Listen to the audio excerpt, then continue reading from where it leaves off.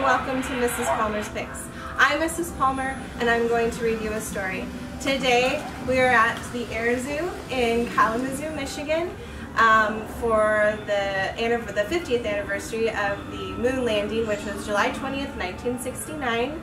You might hear some astronauts talking in the background while I'm reading uh, with this exhibit. Uh, so today I'm going to read Life on Mars by Jon Agee.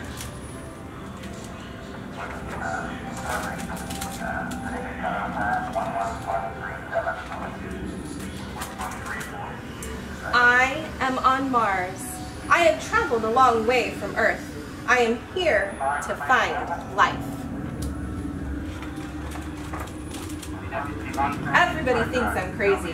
Nobody believes there is life on Mars, but I do, and I just know that I'm going to find it.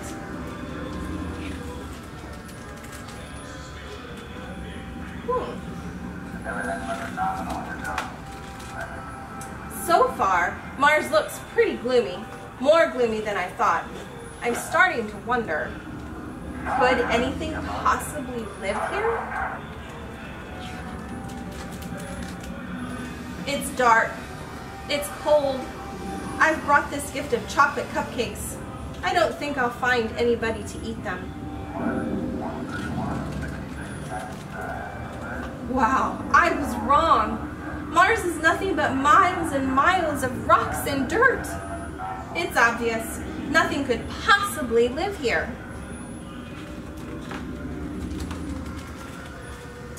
What a disaster. Everybody was right. There is no life on Mars. I'm going home immediately. Uh-oh. Where is my spaceship? Can't believe it. I'm lost. Lost on Mars, where there's no life. Wait a minute. What's that? No way! It's life! It's on Mars and it's alive! What an amazing discovery! I can't wait to get back to Earth and show everybody what I found. And look, my box of cupcakes. How did it get there? Now I've got to find my spaceship. I bet I'll get a good view from the top of that mountain. Aha! There it is. Is that a mountain? What an adventure! I always believed there was life on Mars, and I was right! I think I deserve a treat.